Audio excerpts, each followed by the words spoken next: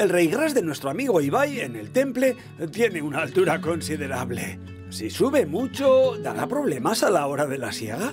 La altura no, no, no es un problema que pueda repercutir hacia la siega, no, al revés. Aquí estamos deseando todo el mundo que nos dedicamos a esto, que contra más alto esté, mejor, porque vas a la báscula y dices, hostia, han salido kilos, tal y que cual. Yo soy el primero que nunca digo que ha salido poco, la verdad, no, no me gusta, me gusta y no me gusta, me gusta por fastidiar a alguno que hay por molino, ah, pues, hostia, pues yo he sacado el copón, tío, yo he exagerado.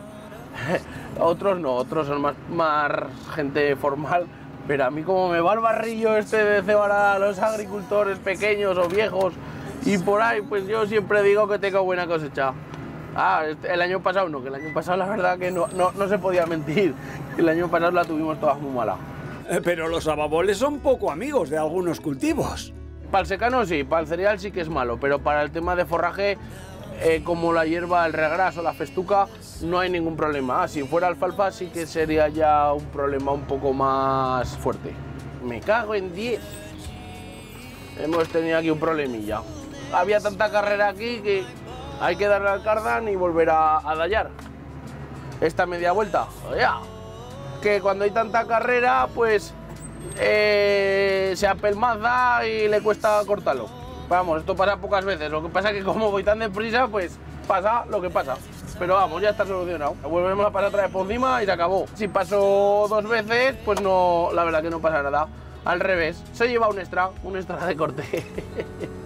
los laterales se han quedado sin segar. Sí, exacto, porque yo no tengo segadora de morro, otra gente sí que lo lleva porque aquí no nos hace falta, a ver, no segamos tanto como, pa, como para, para tener que tenerla. Entonces, eh, siempre se siembra eh, cuatro vueltas alrededor y luego la última, pues la haces al revés.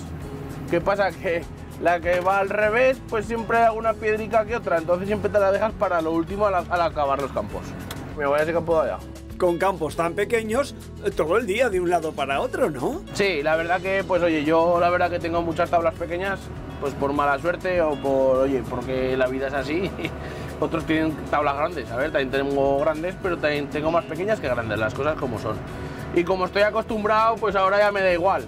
¿Me entiendes? Pero el primer año que empecé en la tierra, pues me cago en 10 estas tablas. Claro, yo encantado, ¿sabes? Pero sí, cuestan mucho, cuesta mucho hacerlas. Para que como yo lo hago todos los días, pues estoy acostumbrado, pues ahora ya casi ni me miro para atrás. Pero bueno, esto es así. Y que dure.